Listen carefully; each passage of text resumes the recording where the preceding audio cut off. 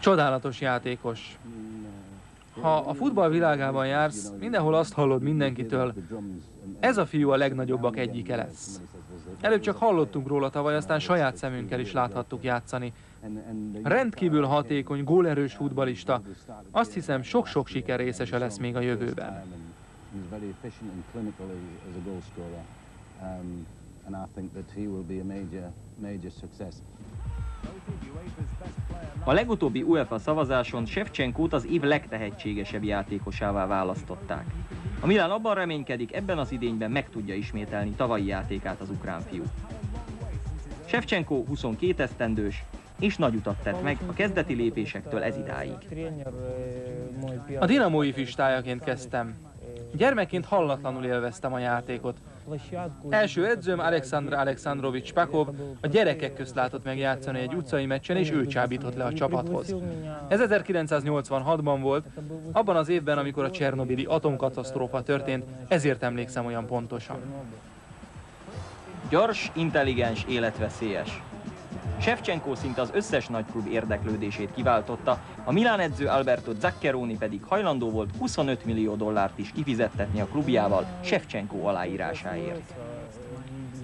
Én már az új csapatomért tevékenykedem, de örökké megőrzöm emlékezetemben a Dinamót, az edzőket, a játékos társakat. Ez az a klub, amelyhez a szívemben tartozom. A Milánhoz érkezve egy új családhoz tartozom majd, és szeretném itt is jól érezni magam. Hallgassunk, hogyan vélekedik mindenről a Milán alelnöke. Számos fantasztikus támadónk volt a múltban, olyanok, mint Van Basten vagy Hulit. Reméljük ez a fiú is hasonlókra lesz képes, és olyan nagy csatárrá válik, mint amilyenek a 90-es évek elején jellemezték a Milánt. Őszintén szólva, amikor először Milánóba látogattam, és megláttam azt a rengeteg kupát, serleget, amelyet a klub elnyert korábban, valósággal megijedtem. Nagyon nehéz számomra, hogy olyan kiválóságokkal hasonlítanak össze, mint Van Basten és Papen például. Tudom, hogy még nagyon fiatal vagyok, és még sok minden vár rám.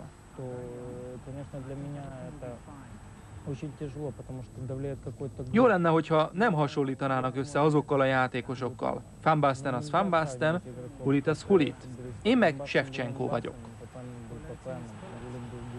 A legfontosabb dolgom, hogy megfigyeljem a legnagyobb sztárokat, és még tovább tanuljak tőlük.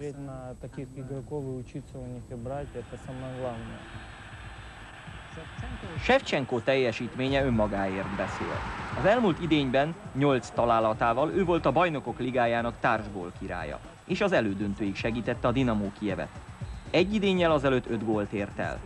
De Shevchenko szerényen beszél saját magáról.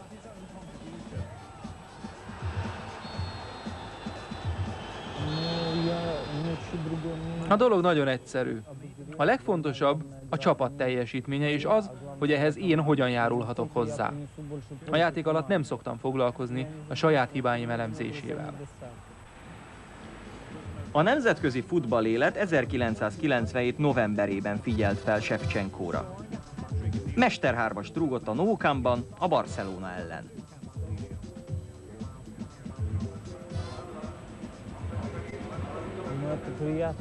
Óriási élmény volt, de a pályán nem nagyon gondoltam erre.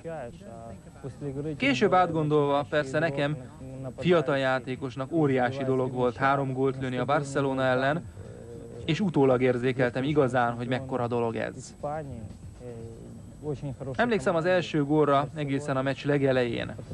Jobbról kaptam egy beadást, és sikerült a kapuba fejelnem Я не помню минуты, конечно, ну где-то в начальных минутах была передача с правого фланга, и я головой в опережение забил мяч. A második gól előtt szintén egy jobboldali beadás érkezett, nem volt egészen pontos, ezért gyorsan kellett felúranom a magas labdára, megelőzve a kapust. Szerencsére sikerült. A harmadik pedig 11-es volt.